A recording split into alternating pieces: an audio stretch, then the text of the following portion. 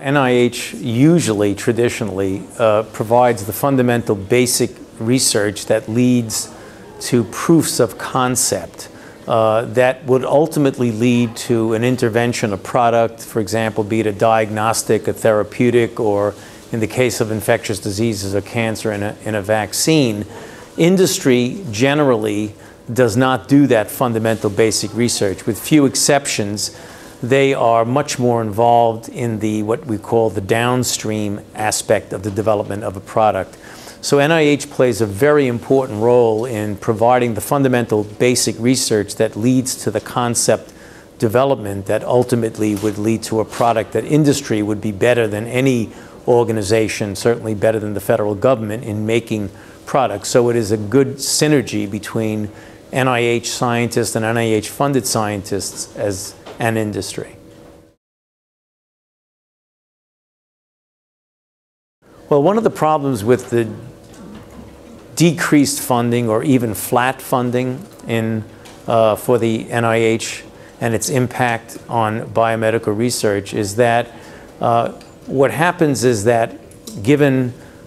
biomedical research inflation, uh, a flat budget itself is really a cut. Uh, given the fact that opportunities continually arise, that it would be very important to capitalize on those opportunities that you have a dual uh, negative effect. First of all, you can't fund as many fundamental basic research grants as you'd want. That sounds like it's something in a vacuum, just a research grant, but what you have is investigators, particularly young investigators, who would get discouraged into entering the field of biomedical research and with a flat or decreased budget,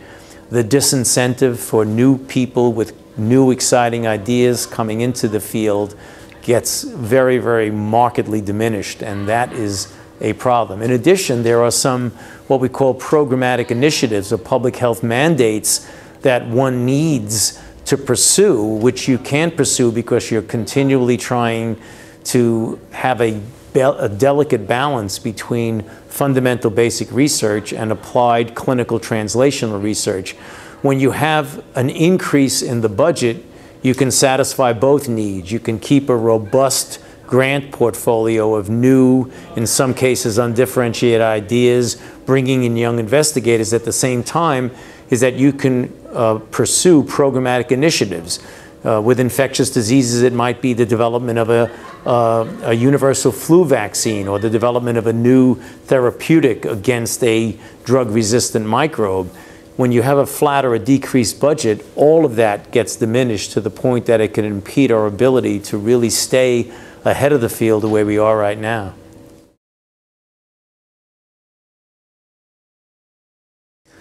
Well, I think HIV AIDS uh, and the scientific advances, particularly in the arena of therapeutics and to some extent now even prevention, are going to play a major role in decreasing the burden on the healthcare system. Because we know that if you treat an individual early in the course of the disease with the drugs that are the result of both basic biomedical research and the translation of that research into products, you can decrease the cost of taking care of a person dramatically. We know from studies from different cities, from different regions, that if you get someone well, they have a productive life. The drugs cost money, but the cost of the drugs are far, far less when you think in terms of hospitalizations and the cost it would be to take care of sick individuals. When you're talking about prevention, the research, particularly over the past couple of years, 2009, 10, and 11, on prevention of HIV research have been really quite uh, astounding, uh, particularly this issue of treatment as prevention, that if you put people on therapy, you decrease dramatically by well over 90% the likelihood that they would transmit their infection to an uninfected partner. So investment in research on prevention in the long run, as with any situation of prevention, save an extraordinary amount of money.